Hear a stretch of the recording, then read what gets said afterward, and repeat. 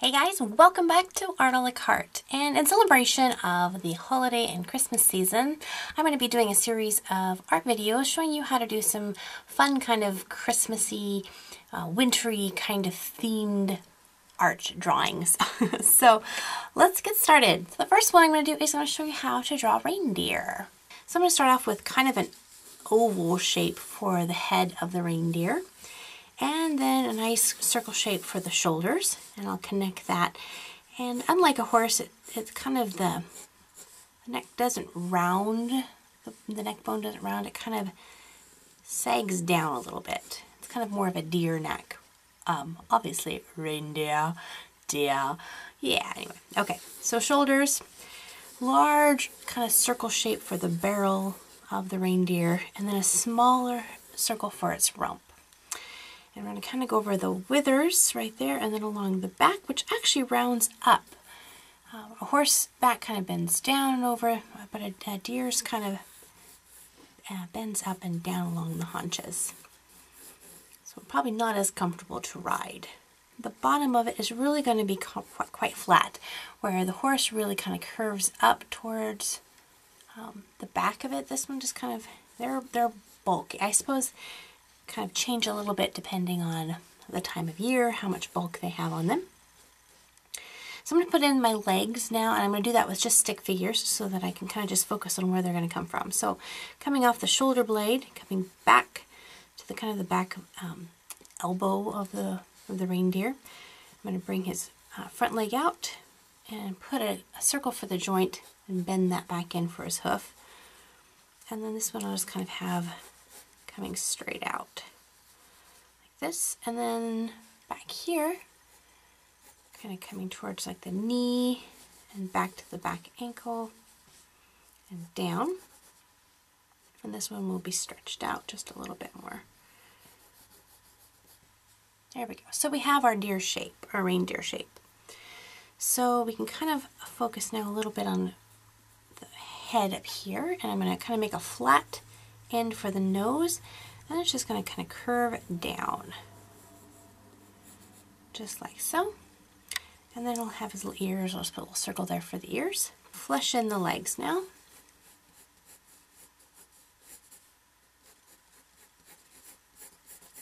As the hind haunches kind of come down they're going to get a little bit thinner.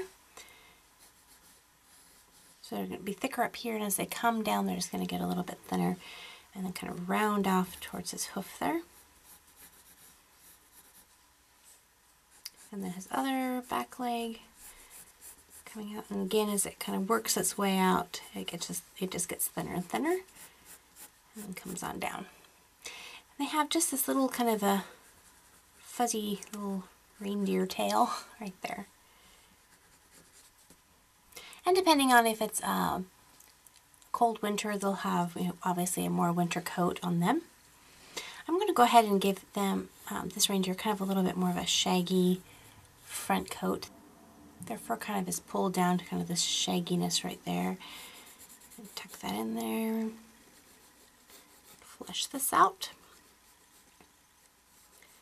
So this is kind of, if this is new to you, I would um, definitely suggest checking out some of my how to draw horse tutorials because it really take you through step by step on how I'm doing this. It'll be really easy for you to translate what you learned in how to draw a horse video into how to draw a reindeer. Okay, and then back to his hoof. Now he has the split hoof. So he has like these two big toes instead of having like the rounded um, horseshoe that a horse would have he has more um, more of that slip slip toe. It helps him to cover a lot more icy and snowy terrain with that kind of feet. And he has a kind of like little back nubbed on his little heels there. And because he's kind of a reindeer in snow, I'm going to actually not really worry about drawing these bottom hoofs or feet. I'm going to put them in the snow. So we'll see this one here, but the rest of them will be in the snow just to add a little bit more atmosphere. But if you wanted your reindeer to be um, running in non-snow environment, you could definitely just, you know, just sketch those in. Very much like a horse hoof, only split. Now the last defining feature that we're going to work on is sketching in his antlers. And that can be something that's a little bit challenging, so I'm going to show you a trick to doing that. Just like with many different things that I draw, uh, if it's complicated, simplify it.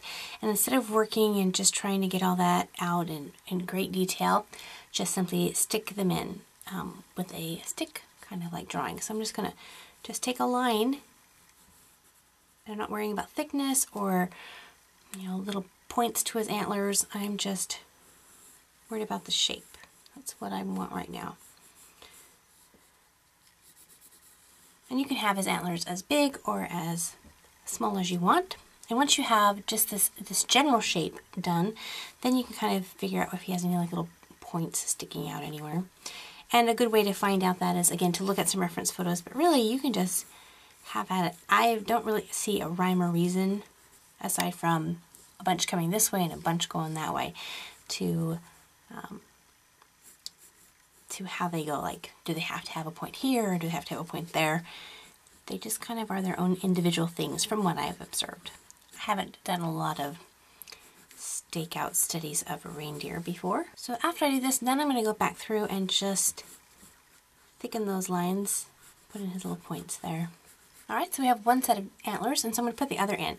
Now, I always thought that the two antlers had to mirror each other, but one of my friends who is um, a hunter said that nope, they can be a little different. They don't have to be absolutely precise.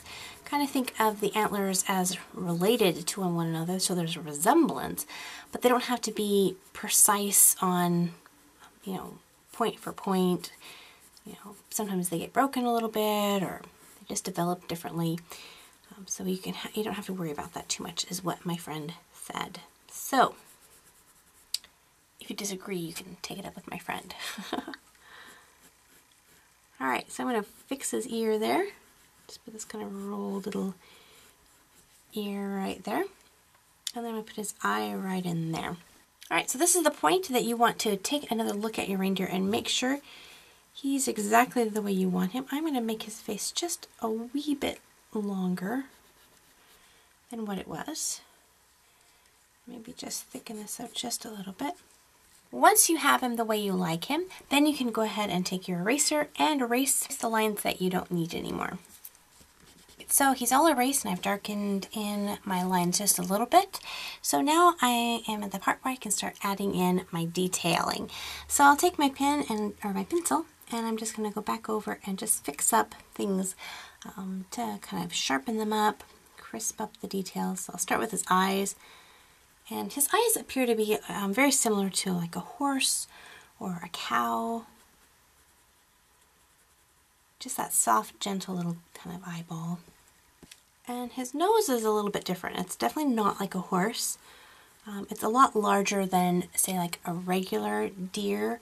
Um, so I, I would say kind of a mixture of a deer and a cow. his mother was a deer and his father was a cow, but he's okay with that now. And then as we get down towards the bottom, everything just starts to get shaggy. So you can just use those kind of jagged lines to give you that um, feel of fur and a long kind of um, wintry shaggy coat. Alright, so here comes the part where you can color him. So you could use colored pencils, you know, watercolors, paints, um, markers, crayons, whatever you'd like. Or you can just um, go with like a traditional, just use your pencil to add some shading.